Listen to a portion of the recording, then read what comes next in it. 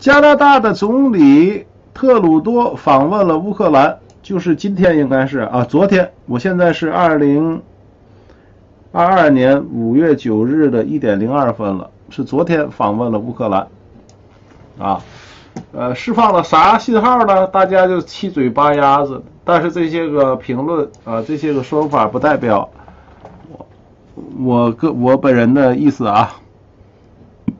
当地时间八日。加拿大总理特鲁多访问了乌克兰。昨天，也就是八号的昨天，哈，呃，美国第一夫人吉尔拜登秘密访问乌克兰，没消息，秘密访问。拜登不敢去，派他老婆去，害怕是咋的啊？光光说啊。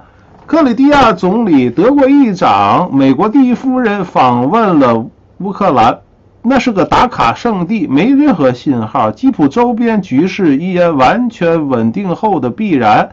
一些欧洲小国，那个小国国家代表三月份就访问了基辅，有些个国家直到五月份才有代表出访。枪林弹雨下的访问，率先。到访比这姗姗来迟勉强的支持更为的可贵。嗯，程序员说啊，这个是呃为了拉选票去的，拉选票，乌克兰要给他们投选票吗？啊，这个留学刘家学生说，因为国内压力比较大，土豆最近联合了左派，导致事实绝对多数就是有。左派的议员支持自由党，现在要做一点左派的事情回报。昨天还采访乌克兰官员，说问土豆要不要来，今天土豆就到了。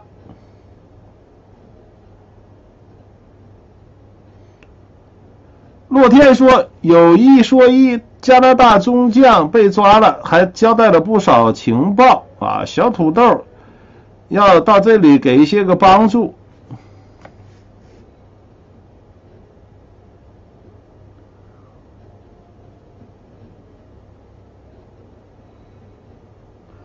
会不会是这个剧情？特鲁多和吉尔去营救他们的儿子亨特·拜登啊？因为有消息说拜登也也被被抓了，拜登儿子被抓了啊。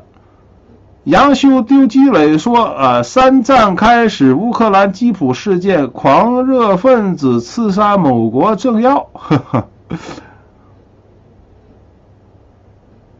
注定好律师说：“啊，呃，作为昂萨民族的嫡系亲王，特鲁都亲王岁皇巡视边镇九边重镇是再正常不过的了。一代岁皇检查边防舰将士。”和归降的南匈奴二毛协同作战的能力水平，已是亲王对昂萨民族雄图霸业的关心，禀明自己心系社稷匡扶大厦之志。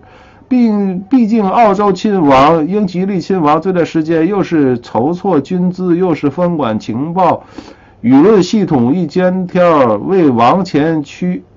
啊，特鲁多亲王不行动下表示表示怎么对得起自己被授予七西方七大工业国五眼联盟这期等众多荣誉在身。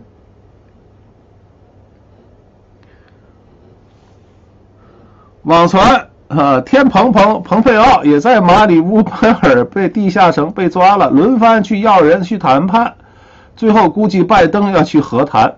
呵呵。这个是绿杨阴里白沙提，这是他他的看法啊。恩恩说不到基辅非好汉啊。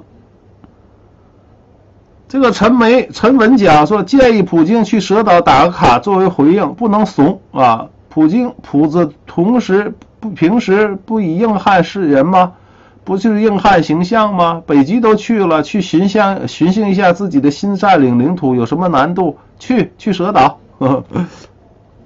四面楚歌说，毛子为了点土地，死死的要在世界文明的对立面。琉璃说，特鲁多会不会私下约会美国第一夫人？H N A 说：“怎么感觉乌克乌克乌俄大战就是为了一个钢铁厂？俄罗斯很缺铁吗？”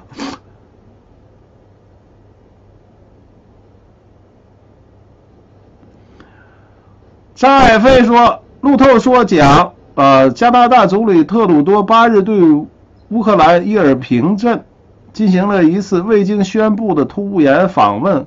该镇市长在访问中说，伊尔平镇在激战后曾经于三月底被俄罗斯军队夺回。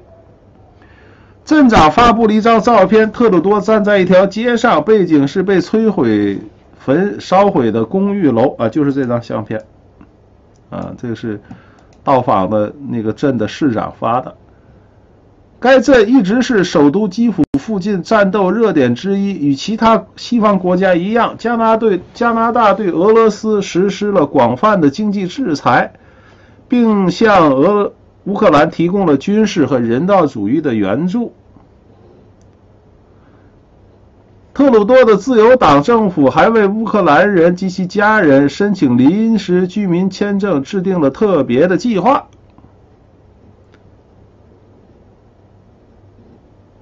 特鲁多，一位摸过拜登的男人。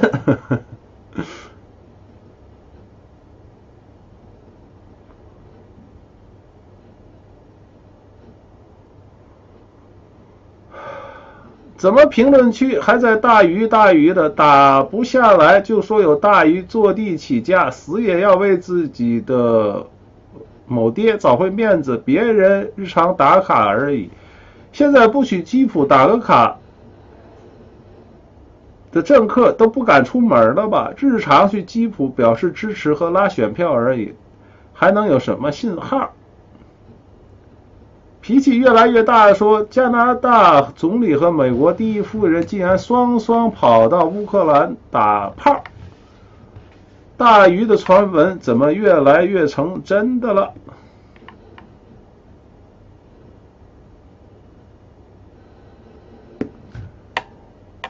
太行学道说，乌克兰人的鲜血染红了网卡打网红打卡圣地。问题是，这些政客并不是真关心乌克兰的人民。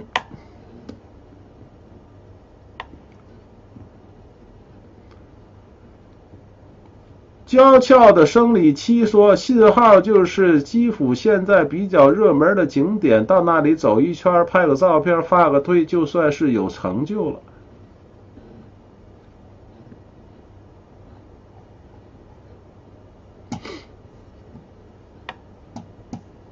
等等，这是大家对这位呃小土豆的评价。